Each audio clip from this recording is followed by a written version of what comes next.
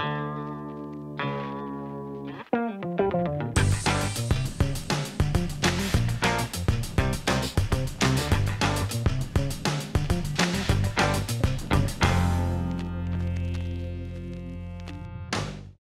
think two things. Typical entrepreneurs are very creative, sales driven.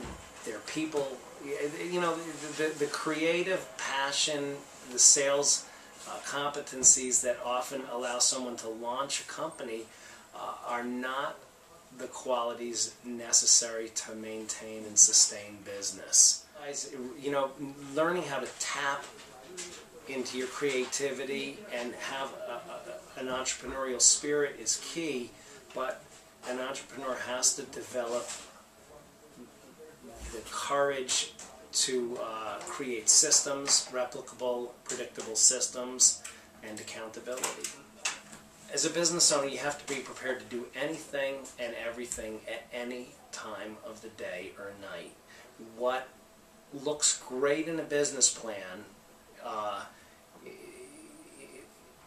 that's strictly a plan. It's it's it's a it's a theoretical approach.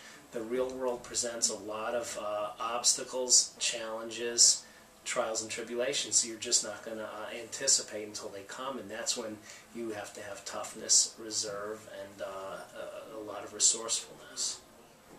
You have to have the ability to be a visionary with an eye on the big picture, but you also have to focus and have tremendous attention to the smallest detail. Uh, the owner entrepreneur has to really set a pace with which everybody can follow.